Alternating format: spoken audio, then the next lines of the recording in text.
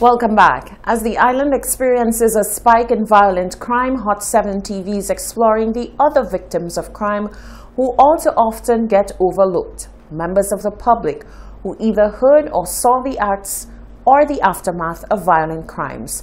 Psychiatrist Dr. Julius Gilliard says after effects could be detrimental if left untreated. The recent killing of a woman at the Gros Islet bus stand has led to the discussion surrounding the trauma felt by some who either witnessed the crime or the aftermath of it. One individual, under the cover of anonymity, said their life has been flipped upside down and the trauma felt from Saturday's shooting resulted in them seeking counseling. The shooting by the Gros Islet bus stop traumatized me so much that I was not able to leave home until I forced myself to on Monday morning. Um, because uh, from I live at the top floor of the CDC, and when the police cleared the crowd, I could see her body lying down there and the blood gushing out of her neck. This is a lady whose voice wakes me up on the morning telling people, sanitize please, sanitize please. I mean, I, I heard the morning and then I heard the eight shots one shot pause, three shots pause, four shots pause. Psychiatrist Dr. Julius Gilliard said this is a topic that is often unheard of and rarely gets the attention that it deserves. He said a lot of the violence seen today may be a result of insensitivity developed by individuals who have witnessed other similar scenes, even through violent television programs and pornography. Persons may not realize how traumatic those scenes are to them persons may not feel the effect of the trauma right away and may continue to want to be a witness to them. The difficulty with that is that those persons are being traumatized because it is a traumatic scene. They may not realize the trauma now, but what may happen is that after two or three times witnessing those gruesome scenes, they may start to be affected in other ways. They may experience um, some emotional numbing. They may experience insensitivity to, to other violent events, and they themselves might perpetrate violent acts and be insensitized to those acts. Now, on other persons of the society, it can affect them significantly. So you have persons who are already vulnerable to those kinds of stressors and they may be more prone to things like PTSD and other stress disorders. Dr. Gilliard said the level of overexposure and insensitivity to scenes of violence and death is worrying, especially the fascination behind some of these sites. Any form of violence being perpetrated is, is, is worrisome, and even the effects on the general populace is worrisome. The difficulty we're having here is, as I always say, we don't have sufficient mental health services in St. Lucia to deal with things like that. So even the persons who recognize that they are being traumatized have little to no access to mental health services. So they have to deal with their trauma in their own way.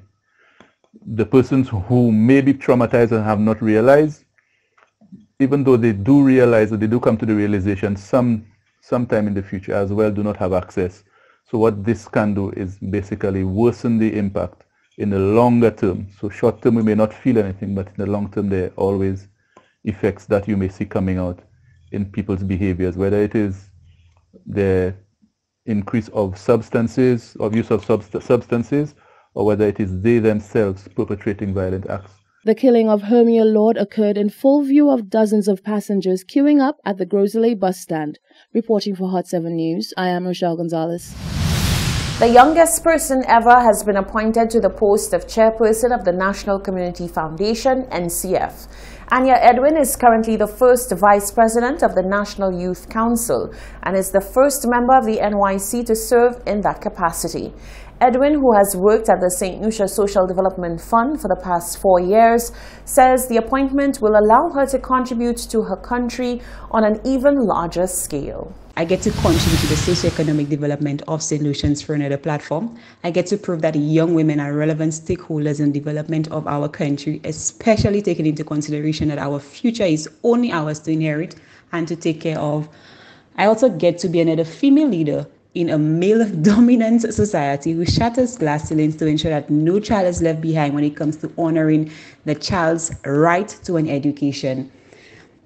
one of the sentimental things for me is that young girls and boys who are born into a high risk community or environment who suffers from a myriad of social injustices can rely on my tenacity my ambition and hardworking attitude, among so many other attributes, as a beacon of hope for a better future.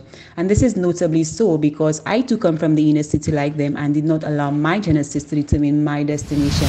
The NCF's mission is to support initiatives that engender self-empowerment and social upliftment through assistance to a wide area of benefactors for emerging and community needs in education, health, social services, among others. Edwin says that the new appointment will allow her to launch a charity foundation for her community of Castries. I'm a few days new to the board of directors of the National Community Foundation, and from my leadership or NGO or CSO participation in the last few years, it is not always a good practice to make plans for an organization while you are on the outside looking in and without having the or knowing rather the where if all of the organization, its challenges, etc. Otherwise, I would just be making a lot of promises that I may not necessarily be able to fulfill. So, what I will say though is that I look forward to shaping the social development trajectory with the rest of my team, both directors and staff of the National Community Foundation over the next two years, especially during a time when our underprivileged St. Are more prone to the ramifications of the exacerbated social disparities brought about by this pandemic. Edwin will serve as the chairperson of the Board of Directors of the National Community Foundation, NCF, for the period March 2021 to March 2023. Residents of Castries Southeast are counting their blessings to be home to more than one centenarian. On Tuesday, family, friends, and the wider constituency celebrated the life of Bernadette Dedet Thompson, who turned 110. To have lived through two world wars and two pandemics is no easy feat, but Bernadette Dedet Thompson made it look easy. The woman who bore six children within her childbearing years celebrated her 110th birthday on Tuesday, surrounded by family and friends. Her granddaughter Esther Thompson said it has been a blessing to be part of such a milestone in her grandmother's life. She told me a lot, a lot, a lot of old things before about her life from childhood to this age. And she and she also tell me about medicine, bush medicine, what to take, what to drink. Tough lady. She's very tough. Mm-hmm. And she worked very hard. While Bernadette was slow to speak, it was evident that she continues to be surrounded by love of her immediate family as well as the wider community. She recounted the things she enjoyed in her youth. farine, brapet, dasine, figue, bacabou. Tout le monde. Je suis danser. Je suis jouer bol. Je suis battre bol. Au vent. Je suis invité, moi. Je suis battre. Je suis battre bol. Je suis danser marron. Another granddaughter shared her fondest memories with her grandmother. Growing up as a little girl, she has been the best grandmom that I've ever known. She has taught us how to love, how to forgive, how to share, take care of others, you know, and be the person that she would like us to be. She has taught us never to be selfish, appreciate others. The proud MP Guy Joseph said that Dedet is one of a number of centenarians in the Castries Southeast constituency. Clearly, we have some people who are living very long in this constituency, and we really thank God for His blessings on these people because it's the goodness of God alone that can keep you alive for that period of time.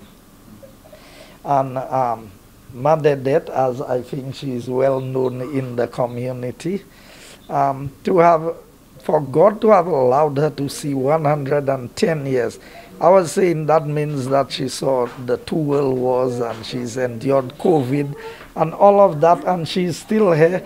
And it's wonderful to have family. And when you see the way that the family is looking out for her and caring for her, we really have to thank God that she has a wonderful family to be there for her in these times. The woman, who is originally from Mondo, now lives in Cooleytown. For the Hot 7 News, Nisha Charles reporting. This is the Hot 7 TV Nightly News. The latest weather report is coming up after the break.